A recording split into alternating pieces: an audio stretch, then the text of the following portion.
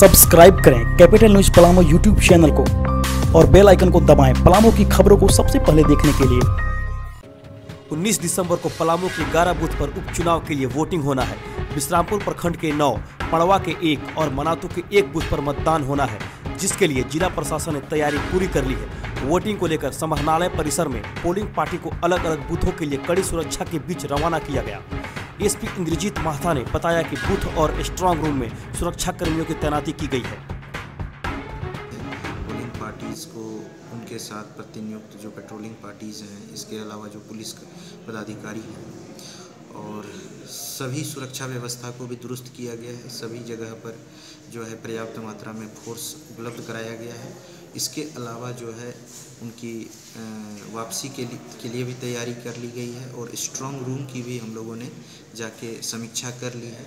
वहाँ की सुरक्षा व्यवस्था और मतगणना के दिन में भी जो सुरक्षा व्यवस्था होगी उस